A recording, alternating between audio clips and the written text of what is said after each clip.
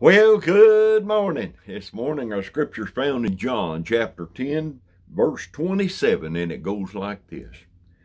My sheep hear my voice, and I know them, and they follow me. Well, back the day before Thanksgiving last year, uh, I'd went with my sons out to a uh, uh, shooting range and uh, during the the the range uh, activity, I lost all most all of my hearing. Uh, I think they said that about ninety percent of it's gone. And uh, boy, I'll tell you what, now that'll that'll put you in the dark area. You just uh, couldn't hear nothing, and uh, that that was uh, probably one of the uh, top 10 worst days of my life. Uh, I'll put it right up there next to when my wife passed away. That's how dark it got for me. But I went to the doctor and they did some experiments on me and and uh, the experiments didn't work. And they uh, they told me I need to go get me some hearing aids. So uh, I went and got me some hearing aids, and uh, these uh, uh little rascals they uh, they help a bunch, and uh, I can hear things that I couldn't hear before, and in fact they hook up to my cell phone so that if you call me, well it goes straight into my ears and uh, and it's amplified on top of that, so I can understand uh, what you're saying when you call me on my cell phone, and I also uh, listen to music off my cell phone that way too, and and because uh, music's always been a big part of my my life, most all of my life, and uh, so it's it's um, it's pretty amazing. Now these hearing aids requires batteries.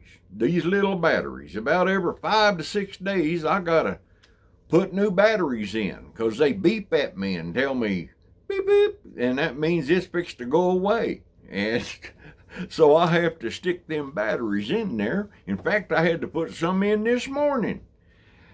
And, uh, you know, I got to thinking about that. Many times, you know, we go through what I call a spiritual drought and we don't hear from God. And uh, you know, we we just we we pray and and it just seems like the the heavens are closed, and and uh, our prayers are not making it to the Lord.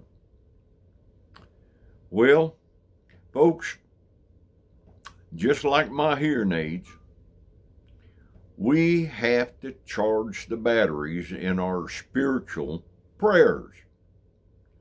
And uh, you may think that's funny, but that's that's what you got to do, and that's we hide the Word of God in our heart, and uh, this uh, is nothing but truth and uh, it's it's not a storybook or nothing like that. Although it has some wonderful stories in it, this is the truth, and we need to read this daily and and uh, study the Word of God and let it speak to us, and then you'll start hearing that small still voice as you're going about. When you have questions comes up about how do I need to handle this? How do I need to handle that? That still small voice, you'll hear it in your heart. Nobody else will hear it but you. But you read the word and you continue to pray and let God speak to you and direct your steps. And He will. He will. He will direct your steps. And when you fall, he'll help you get back up. But we got to be read up and prayed up, folks.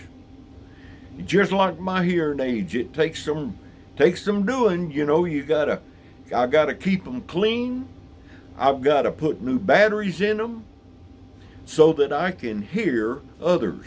And we need to do the same thing with God. And He will speak to you. And I hope that this encourages you today to read the Word of God and pray and let Him get your spirit, spiritual hearing aids all charged up and ready to go. May God richly bless you. I love you, but better yet, Jesus loves you, and He died on the cross for us. We'll see you soon. Bye bye.